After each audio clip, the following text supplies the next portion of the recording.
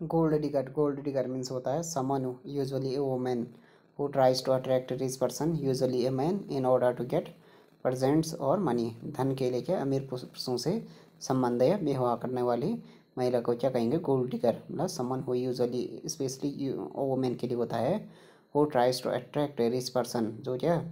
Rich person को attract करने की कोशिश करती है usually a man in order to get presents और मनी मनी अब कुछ तो उपहार उपहार प्राप्त करने के उद्देश्य से क्या करती है? रिचमैन से, रिचमैन को अट्रैक्ट करने की कोशिश करती है या उससे शादी है संबंध बनाने की जो करने वाली वोमेन को कहेंगे गोल्ड डिगर।